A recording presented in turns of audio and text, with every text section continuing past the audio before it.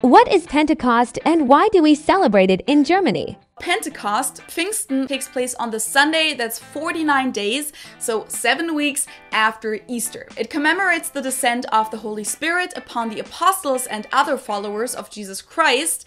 And yes, I had to look that up because even though it's been a public holiday in Germany my whole life, I keep forgetting its original meaning every year since I'm not religious myself. And as I said, people don't really celebrate this day a lot anymore. Pentecost Sunday is a day off anyways, but then on top of that, Pentecost Monday, Pfingstmontag is a holiday as well.